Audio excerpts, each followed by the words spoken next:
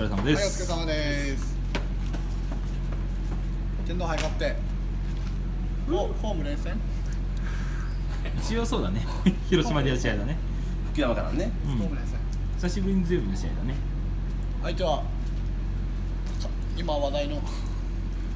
これですよこれよキヨタケ T オタケ。のセレッソ。ね節操だねセレッソ大阪。調子いいかね。セレッソね。うちは調子悪い。かもなく不可もなく。ただ鹿島とはむちゃくちゃやったっていう、まあ、でも順位がすごい近いんで、セレッソは。うん。ここで負けるとかなり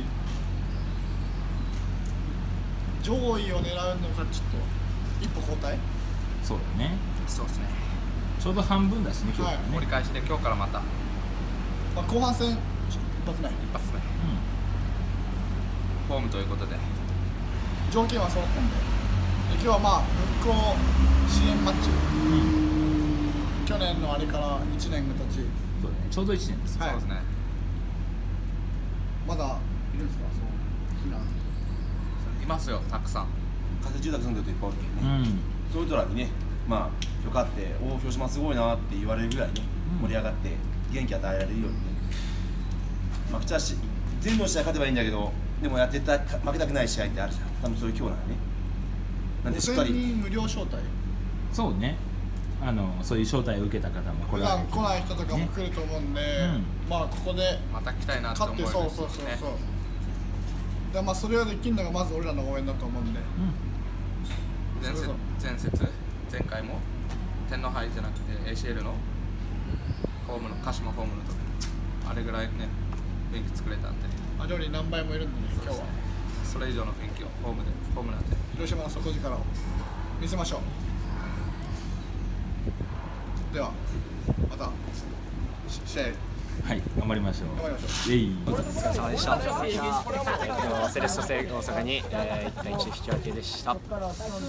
えっとまあ最後とかすごくいい雰囲気で、えー、選手後押しできたかなと思うけど、まあやっぱあそこで点決めれるか決めれんかがどれだけ上に残れるかだと思うし、まあ前半で先制されるってところもすごく今シーズン課題だと思うし、やっぱ。先制してそのまま無失点で勝つっていう試合を最近見れてないのでそういう試合をもっと増やせたら今後最後今シーズン最後にまあいい位置に折れるかなと思うんでそういうのをまあこういうグループからしっかり一緒にしていけたらなと思います。そうだね。現状どうだった前節鹿島行ってないですけどうん。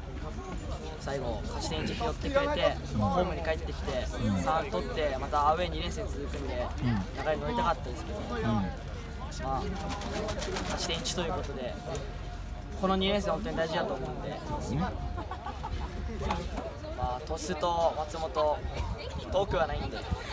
みんなで。遠いでしょなかなかねえっとそんなあなたにおすすめのバスツアーがあるんですよね。なんと U23 割引ということで。お素晴らしい。若い大学生にも、うん。高校生にも、うん。中学生にも、うん。お得な金額でいけるということではい。ここにここにここにあります。そうそうそうそう。みんなで駆けつけて阿部2年生しんどいですけど勝ち点3拾えるように勝ってホームに帰ってこれる。暑いんでね水分補給もしっかりして勝ちましょう。お願いします。はい。まだまだ空きがあるようです。では。またはい、突次は。戦頑張りましょう。よろしくお願いします。でした